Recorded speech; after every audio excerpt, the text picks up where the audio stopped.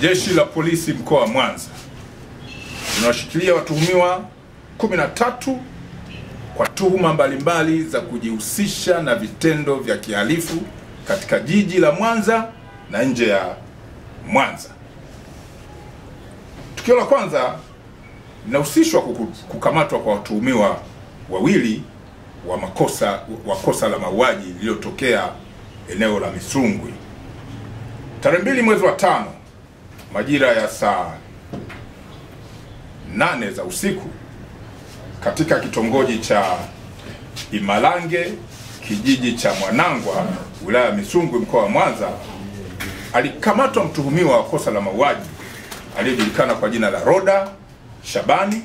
Huyu ana miaka 27, ni Msukuma na mkazi wa kijiji ambacho nimekitaja kilicho katika wilaya ya Misungwi. Mtuhumiwa huyu baada ya kuhojiwa kwa kina kuhusiana na tuma za mauaji ya bibi kizee aliyejulikana kwa jina la Ndebito Tabita ambalo lilitokea tarehe 29 mwezi wa 4 mwaka huu, alikiri kuhusika na tukio hilo na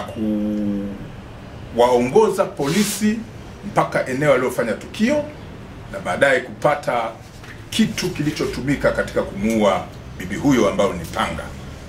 Mahojiano ya kina yalifanyika na baadaye akakamatwa mtuhumiwa mwingine wa pili ambaye ni mganga wa kienyeji aliyejulikana kwa jina la Muhangwa Paulo